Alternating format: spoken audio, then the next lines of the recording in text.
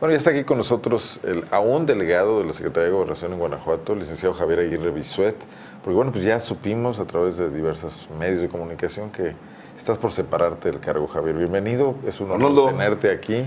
Otra Que vez, qué milagro. Que vengas, no a, invitan aquí a Zona Franca. que vengas a despedirte en este No, programa ¿Por qué despedirme? No, ni me voy a morir, ni De- me no, va no. a pasar algo más. de estas funciones y a ver, para platicarnos Pues de mira. Arnoldo, no es, yo todavía no he externado de manera abierta eh, mis planes de manera concreta. Yo he sido muy puntual en el sentido de las aspiraciones que tenemos todos los hombres públicos.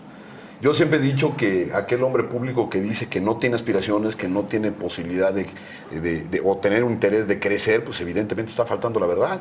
Todos queremos tener una aspiración, todos aspiramos a tener una mayor posición, todos buscamos una, en tu parte profesional, pues tener un, un escalón más que subir. Pero en los ciclos que se abren y se cierran, digo, este que acabas de, que este No, que has ejercido estos cinco años aproximadamente, eh, con una función importante, o sea, coordinar la política federal en Guanajuato, pues sí es importante saber si vas a seguir Mira, o no vas a seguir, ¿no? yo- yo estoy muy contento, Arnoldo, porque en estos cinco años creo que hemos logrado eh, reposicionar el, el- el nombre, el trabajo y, y el esfuerzo que ha hecho el gobierno del presidente Peña Nieto aquí. Se oye de discurso, la verdad, pero es cierto. O sea, yo creo que el gobierno del presidente Peña ha hecho una gran labor aquí, en términos cuantitativos y en términos cualitativos. Cuantitativos, ha habido una permanente inversión pública en todos los rubros que implican el año pasado, por ejemplo, 70 mil millones de pesos para el Estado de Guanajuato. Y hoy este presupuesto se va a repetir finalmente. Más o menos números, aunque por ahí diga alguien que no, que está subutilizado, que está no subaplicado, que el- está... Bueno, pues no lo sabemos. El zapotillo, sí. Es una responsabilidad que tiene el propio Congreso primer, en primera instancia, ¿no? Entonces hay que, hay que hacerlo con responsabilidad, tenemos que llamarle las cosas por su nombre y darle la responsabilidad a cada quien lo que le corresponde en el, en el ejercicio y la atención de los problemas. Yo, creo que, yo creo que en el escenario de la parte eh, de cuantificación de los recursos ha sido importante. En términos cualitativos también. Eh, sin lugar a dudas, había un ejercicio poco pragmático, poco real de los delegados federales aquí en el Estado. ¿Por qué? Porque eran del mismo partido político, del mismo ¿Te partido al de Acción Nacional. sexenio? Perdón. Al anterior sexenio. Claro, el anterior sexenio y el anterior, finalmente fueron 12 años de un gobierno federal de, de- de origen panista y realmente las delegaciones federales eran apéndices como tal de las propias secretarías de Estado, de las propias secretarías de aquí del gobierno del Estado. ¿Qué sucede? Pues cambian las reglas, viene un nuevo eh, eh, origen en el, en el- en el partido del gobierno federal y se desarrollan otras circunstancias. En esta administración, tú sabes, eh, la instrucción del secretario Osorio fue que los delegados de gobernación, y no es el caso exclusivo de Guanajuato, sino que se permitiera la coordinación de las 55 delegaciones federales. Delegaciones totalmente disímbolas, totalmente complementarias, pero al final del camino cada una con su propia responsabilidad y sus propios perfiles también, Arnoldo.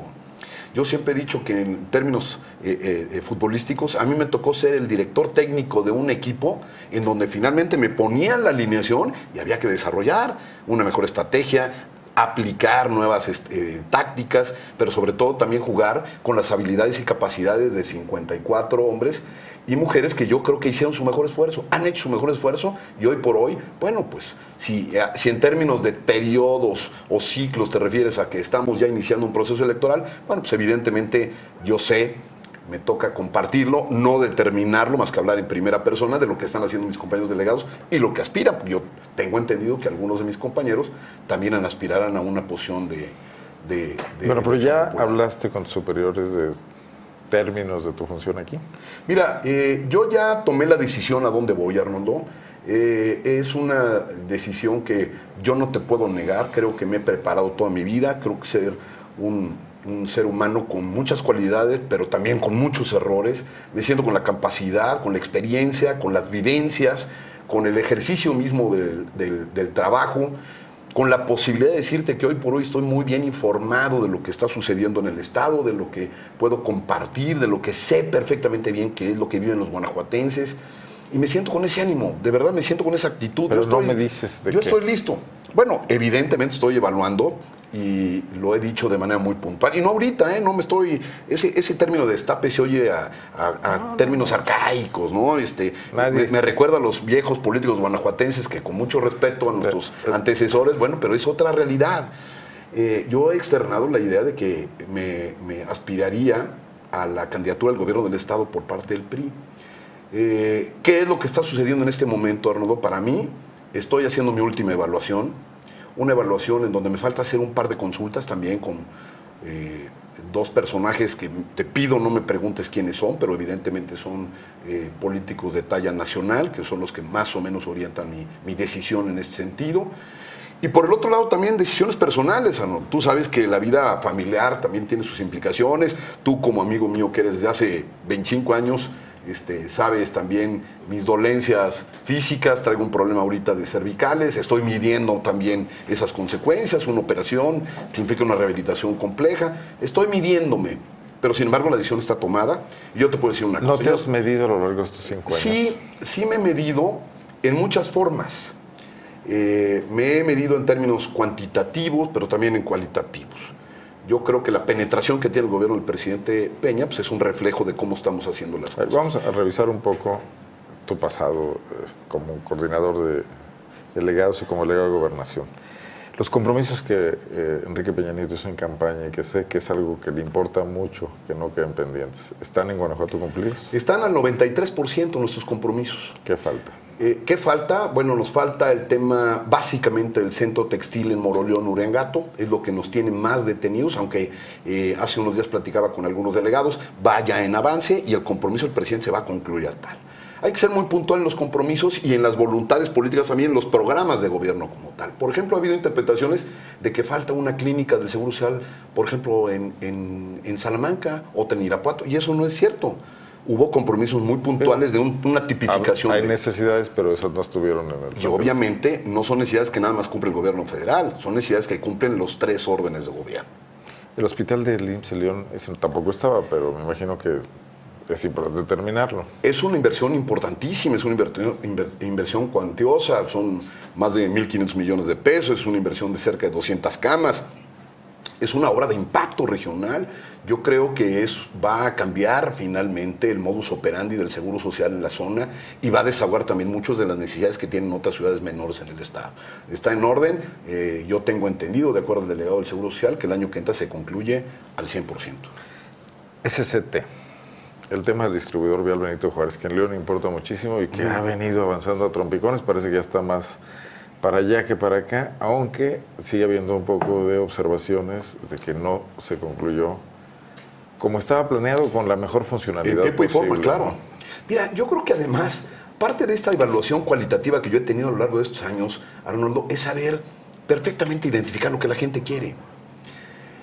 Y obviamente yo te puedo aceptar tenemos muchos, muchas, este, eh, muchos beneficios, muchas eh, eh, obras felices y bien concluidas, como también tenemos muchos errores. Hemos cometido muchos errores. Como todo gobierno, ¿eh? En la política no hay decisiones buenas y malas. La gente piensa que los políticos somos tontos porque escogemos las decisiones malas versus las buenas. En política hay decisiones malas y menos malas. Eso significa pues, que debemos de tomar todos los riesgos, con valentía, Arnoldo, con valentía y no importándonos nuestro futuro político. lentas. Claro, pero también no depende de, toda la responsabilidad. Yo he mencionado. ¿Se concluye bien Enrique Peña Nieto entregar? Yo creo que sí, yo creo que concluye además con un compromiso absoluto con Guanajuato con un compromiso en donde yo puedo reflejarlo también, no nada más en esa parte cualitativa, sino en cuantitativa, te decía el moto de inversión, ya lo quisiéramos tener otros estados de la República también cubriendo la parte presupuestal, o como este año finalmente, que todavía hay un piquito a favor, ¿no? Comparativamente al año pasado el presupuesto. Yo creo que son... Bueno son situaciones, ¿no? Finalmente que se van dando. Haces demasiada filosofía. No, yo digo realidades, ahí están los hechos. Déjame, bueno, al final del camino. Déjame preguntarte algo que tiene importancia en el trabajo que hiciste como delegado y que la tendrá si decides involucrarte en un proyecto político a futuro como aspirante a gobernar Guanajuato. El tema de la seguridad. El tema de lo que resulta evidente a todas luces que no hay la mejor coordinación entre las instancias federales y estatales, porque lo dicen todos. Todos se salen a quejar de que tú estás fallando. cuando todos se culpan, parece que la culpa es de todos. Mira, la gente... ¿Qué, la gente harías ahí en el futuro, visto lo que aprendiste? La gente lo que está cansada, Arnoldo, es que los políticos nos aventemos la pelotita. Por eso hay que afrontarlo, insisto, con valentía política, ¿eh? A mí por ahí el diputado doctor Jaime Ramírez Barba, quien es mi amigo y le mando muchos saludos desde aquí, finalmente me dice que me tengo que distraer en función de mis propias tareas preelectorales, lo cual no es cierto. Él sí tiene razón en el sentido de que yo debo dejar la responsabilidad para poder atender otras cosas, pero como todos los funcionarios públicos, como todos los servidores. Es más, yo aquí invito al propio Héctor Jaime que renuncie a la diputación para que se dedique a su, trabajo de orden de reelección. Y lo haré así, al final del camino, con todos, los, con todos los hombres públicos. Ya anda capacitando a su sucesor. Yo en lo personal creo... Suplente. Yo creo que en esa parte, Arnoldo, para mí el tema, y que sería para mí una propuesta muy importante, lo he venido señalando también en los últimos meses, es la corresponsabilidad. La corresponsabilidad significa que cada quien asuma su responsabilidad y su costo, su costo incluso político, no importando ese futuro. Tenemos que entender que hay una responsabilidad para cada uno de los órdenes de gobierno, como también para la sociedad y como también para los medios de comunicación. Y eso, si no lo entendemos como sociedad... Pero no entras al tema. No, no, ¿Qué hacer en materia de seguridad? Eso voy, permíteme. El tema finalmente de la corresponsabilidad nos permite tener una base para poder actuar de una manera muy concreta. ¿Y cuál sería? Necesitamos establecer un mando único real en donde cada orden de gobierno... Constitucional. Claro, pero en donde cada orden de gobierno asuma su posición, pero también suelte al final del camino. Es muy fácil decir, porque es la frase de moda, ¿eh? Los delitos son del orden federal. Y ya, de ahí me eximo. No, no, no. Todos los jurisconsultos, por ejemplo, el otro día conversaba con uno de tus colaboradores más eh, eh, renombrados, que es el maestro Paulino Lorea, hacíamos un análisis. En materia de ciencia jurídica, estás hablando de tres etapas. Una cosa es la tipificación, otra es la persecución del delito y otra cosa es la prevención del delincuente. Si lo entendemos las bases, si entendemos los órganos de gobierno, cómo debemos de actuar, al final del camino se da en ese sentido. Y entonces sí, podemos aplicar, mira, por ejemplo, hay una responsabilidad. No, lo están entendiendo en este momento. Yo creo que no. Ese es el tema. ¿Quién es el que no lo está Pues yo creo que, mira, a mí no me corresponde hablar de las otras instancias de gobierno, yo hablo de la parte federal. Y ese es otro de los temas, ¿eh? A mí que me responsabilicen de la parte del gobierno federal. El gobierno federal está actuando al 100. Yo creo que en ese sentido el ejército mexicano desarrolla tácticas muy, muy particulares y concretas. ¿eh? El robo al tren, hemos bajado del 100 al 5% el índice delictivo. El CISEN ha mejorado al doble en su inversión toda la parte de tecnología para tener una inteligencia para poder atender el escenario. La Policía Federal, bueno, interactúa incluso hasta en fuera de contexto jurídico, Arnoldo. El 67% de, los, de las carreteras en el Estado son de carácter estatal. Entonces, si nosotros consideramos que como son carreteras estatales no va a participar la Policía Federal, pues estaríamos mal. ¿Qué tiene que hacer? Entrar definitivamente la Policía Federal para atender el tema. O el propio ejército. Tú sabes, jurídicamente el ejército no tiene esas atribuciones para poder aprender a un delincuente. Lo tiene que acotar, tiene que esperar que venga la fuerza del Estado, que venga la policía municipal. Y entonces aquí en mi posición, yo no señalo ni responsabilizo. Hay un grupo de coordinación y el liderazgo, con todo respeto, lo lleva el gobernador y lo lleva bien. Yo no estoy responsabilizando mal, pero tenemos que tomar una responsabilidad. Y el mando único. No lo debe llevar también visto lo que está pasando. Alguien está fallando. Ese no es mi tema. Guanajuato es. A ver, eh, a ver. Eso. Si siempre que, siempre que alguien me dice, a ver, es que me va a regañar. Yo si vas a ser de parte de mi mujer, bueno, hasta de mi hija. Si vas a ser candidato o quieres ser, o mínimamente te interesa el futuro de Guanajuato, sí tienes que opinar sobre el tema. Claro, pero hoy sí es tu responsabilidad. Claro, Arnoldo, pero hoy no soy candidato. Yo me estoy esperando a tomar esa decisión. Entonces salimos de este tema entre nosotros. ¿A qué me estoy esperando? Me estoy esperando, entre otras cosas, a ver estas valoraciones y algo muy importante, Arnoldo, para que te dé pie, porque ya te veo que me vas a querer preguntar más, porque es, el tema es señalización. Yo estoy esperando. El tema es que la gente quiere oír cosas. Claro, y te estoy diciendo abiertamente mi realidad, que es una cosa para mí muy importante. La realidad es esta, para mí. Yo me estoy esperando a la hora que publique la convocatoria el partido para saber en qué condiciones viene la elección interna. Quiero que sea una elección. Ya hay un acuerdo del Consejo Político. Ah, claro, que va a ser el método, pero no habla de las reglas concretas, no habla de la forma en que se va a desarrollar una pre-campaña, no habla de los requisitos técnicamente para poder ah, hacer y la entonces depende de eso que te registras. No, yo creo que no depende. Tengo toda la voluntad, pero necesitamos encontrar las circunstancias. ¿Puede ser que en tu partido haya reglas que excluyan a algunos aspirantes? Pues hay que esperar que venga la convocatoria. Yo por eso y te lo, te lo digo de otra manera. Yo esperaría que el Comité Directivo Estatal, y espero que me estén escuchando, seguramente me están escuchando, tengan la capacidad de ser incluyentes, de que abran otras corrientes. ¿Por qué? Porque unidos es la única forma de que vamos a ser competitivos. Si no, no. Olvidémonos de este escenario. Llevamos 26 años, 2 meses, 16 días, 17 días de gobiernos panistas al día de hoy. Es muy respetable, eso es lo que ha querido la gente y tenemos que respetarlo. Si queremos nosotros ser competitivos y ganar, tenemos que ir unidos. Y ese es un escenario. ¿Y lo que pasa hoy en el PRI te permite ser optimista con respecto a ir unidos? Yo creo que sí, yo creo que sí. Se han estado dando algunas condiciones, esperemos que las circunstancias y la madurez de nosotros, los actores políticos. Mira, yo creo que la política, Arnoldo, tiene que ser pasión, pero no obsesión. Y si hay algunos actores políticos que están obsesionados con algo, entonces pierden toda realidad y congruencia.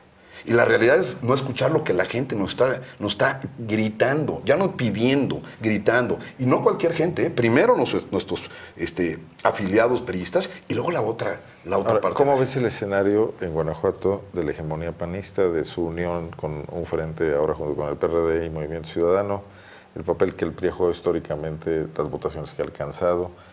¿Tú crees que sea un escenario competitivo? La presencia ahora de Morena, que puede ser eh, un factor diferente, o el verde, que quiere ir por su cuenta, aunque entiendo que también hay pláticas. Ese escenario, ¿cómo lo vislumbras? O también vas a decir que hasta en su momento me lo dirás. Pero tengo que decir por una razón, Arnoldo. Porque hoy, como funcionario público, como delegado de la Secretaría de Gobernación, una de las atribuciones de la Secretaría es coordinar, regular la vida de los partidos políticos. Yo he sido muy respetuoso, he sido congruente conmigo mismo, Arnoldo. En cinco años yo no me he parado, no me he parado a ningún evento del PRI. ¿Por qué? Por congruencia. Si los hombres públicos no somos congruentes, faltamos a todo, nos faltamos a nosotros mismos. Y eso para mí es lo más importante. Yo no me voy a poder parar frente a los guanajuatenses a solicitar su apoyo, un voto, o cuando menos que me escuchen, si no tengo la capacidad de ser congruente conmigo mismo y presentando una opción real, honesta, transparente, porque eso también depende, ¿no? Porque la gente, insisto, ya está cansada de vernos a los políticos. ¿Y el escenario electoral? Yo lo veo, yo me iría más a ciertos escenarios que en lo, personal a mí me, me, me, preocupan. Me preocupa el escenario de la seguridad, por ejemplo, ¿no? que tengan la capacidad, primero, todos los partidos políticos de manera libre y soberana de poder escoger a sus candidatos, a las mejores mujeres, a los mejores hombres, para poder ejercer un, un escenario de, transparencia. Segundo, que los partidos políticos tengan la posibilidad, la vigencia frente a la ciudadanía de presentar una plataforma electoral consciente, realista, congruente, pero sobre todo sana. Que no existan fuerzas externas que se fueran, vayan interiorizando en el tema. Y tercero, que desarrollemos una jornada político-electoral de tranquilidad y paz que no tengamos ninguna irregularidad. Y no me quiero hablar de qué tipificación o qué clasificación de irregularidades, pero que podamos salir a ejercer nuestro derecho de manera libre y, sobre todo con seguridad. entiendo que te refieres eufemísticamente a la posibilidad de que el crimen organizado, que tiene mayor presencia hoy en Guanajuato, de acuerdo a lo que hemos visto, puede tener injerencia en las elecciones. ¿Existe ese escenario? Yo creo que eso es algo que tiene que determinar el propio grupo de coordinación. Mira, hace tres años nosotros... ¿Pero existe el riesgo? Pues yo creo que en todos los estados de la República existen esos riesgos, pero al final... En Guanajuato hace mucho, hace poco relativamente no, no lo veíamos. Creo que el primer escenario es Jerecuaro en la elección 2015. Yo creo que hay que evaluar lo que está sucediendo a nivel regional. Es muy fácil otra vez aventar la pelotita. Ah, es algo que nos pasa en toda la República. No, no, no. Hay que evaluar nuestra región y hay que evaluar en esta circunstancia, pero también hay que evaluar, insisto, cómo se están manejando los propios partidos políticos. No nada más en esta parte de alianzas, en su parte organizacional. ¿Hay un balance de eso? ¿El gobierno federal lo tiene? Eh, estamos haciendo esa evaluación ahorita porque finalmente no están definidas. Apenas al final del camino, hace no menos de un mes, iniciamos el proceso electoral y estamos haciendo una evaluación. Por ejemplo, ayer los eh, delegados federales tuvimos una reunión con el maestro Mauricio Guzmán, el presidente del IEG. ¿Para qué? Para que nos explicara él su escenario, cómo ve las cosas, qué nos permiten al gobierno federal como nosotros. Nosotros, y hablo en primera persona, nosotros sí estamos evaluando cómo blindar los programas electorales. Si lo hacen los demás, será tema de ellos. Si lo hace el gobierno de Estado, blindarlo para que no tenga uso. Para que no tengan uso los programas electorales con un fin de proselitismo. Para que esos programas sociales tengan realmente. Porque ya les pasó. Claudia Navarrete en Irapuato en 2015? Mira, eh, en ese caso hubo algunas denuncias, hubo algunas denuncias, hay procedimientos que todavía no se subsanan, hay procesos jurídicos, no puedo opinar precisamente porque están implementados, pero bueno, pues ahí están las evidencias y ustedes como miembros de, los medios de comunicación, pues evidentemente las han, este, las han externado. Bueno, ¿con qué me quedo?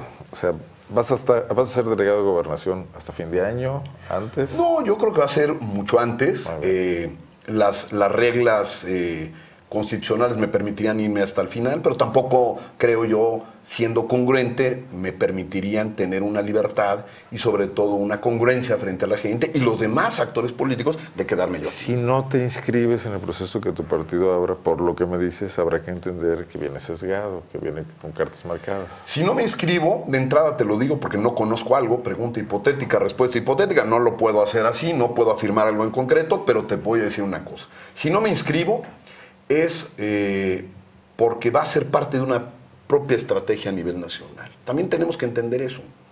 Hoy todos los partidos nos corresponden una estrategia a nivel nacional. Con todo respeto, y lo digo además mandándole un saludo y una felicitación a mi amiga Betty Manrique.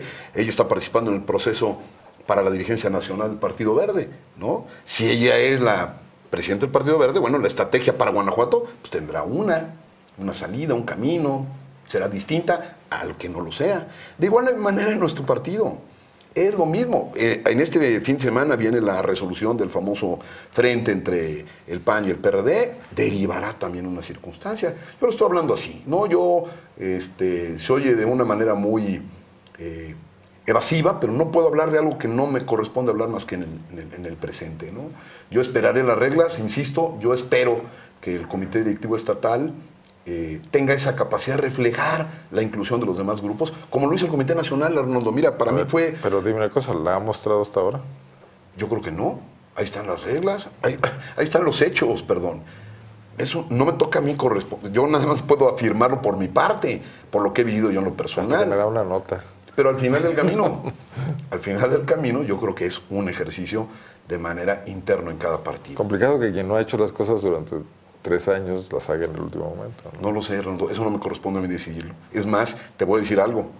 Incluso de manera pragmática, yo no soy miembro del Consejo Político Estatal del partido. ¿Por qué? Para ser congruente. Yo no tendría esa capacidad para ir a un partido, para mi partido, y analizar reglas cuando tengo la interacción con los demás partidos políticos. Entonces a mí que no me digan me extraño. Hay que llamar las cosas por su nombre. Pues esa, es la, esa es la nota al final uno está dispuesto, yo estoy dispuesto, estoy firme y de frente, decidido a, buscar una posición. ¿Pero qué? Con congruencia, con respeto y con inclusión. ¿Pero es la, solo la de gobernador o puede ser cualquier otra? No, bueno, yo creo que tengo una aspiración muy determinada, ¿no? Este, habrá gente que a lo mejor pide una posición para caer en otra, no lo sé. Todos dicen que no hacen eso y luego todos Yo en lo personal siempre he expresado la idea de ser candidato a gobernador y definirá una estrategia de manera nacional que corresponderá también a una estrategia de manera local. Una última pregunta. ¿Está el PRI en posibilidades ya de recuperar Guanajuato? Yo creo que sí. De generar una alternancia. Yo creo que sí, hay escenarios, hay circunstancias. Este, insisto, no me gustaría decirlas ahorita porque entro en un debate eh, preelectoral que no me corresponde. ¿Esto se da por valores locales o por la coyuntura nacional? Yo creo que se da en muchos sentidos, pero además la realidad local es una, ese es tema, ¿no? Eh, lo nacional ayudará, lo regional también ayudará. Pero yo creo que hoy el partido puede ser competitivo eh, en el Estado. Muy bien. Muchas gracias. ¿Cuál nota? Ya me sacó todo. yo no quería decir nada. cuando ya estén las definiciones también más encaminadas, ¿te parece bien? No, yo creo que mi discurso tendrá que ser un poquito más orientado a eso que me estás preguntando, que hoy me imposibilito hacer. Pero bueno, al final del camino estoy listo, tengo la voluntad, me siento con la capacidad, con la experiencia, y bueno, pues estamos este, presentando una nueva una nueva oferta de una persona que creo yo ser una nueva generación política en lo que han vivido finalmente en los últimos 20 años los peristas en Guanajuato. Ya con esta definición ya te podemos incluir en las encuestas. Espero que sí. es Javier Aguirre Bisueta, delegado de la Secretaría de Gobernación y bueno, próximamente en búsqueda de otros este, espacios y proyectos políticos. Y aquí, los, aquí te tendremos para platicar. Pórtate bien, espero que me invites, me invites cada semana, porque nada más apuros este, amigos tuyos, pues no, cada semana. Es una puerta abierta. Vamos a una pausa, y aquí, aquí mientras negociamos eso. Regreso en un momento.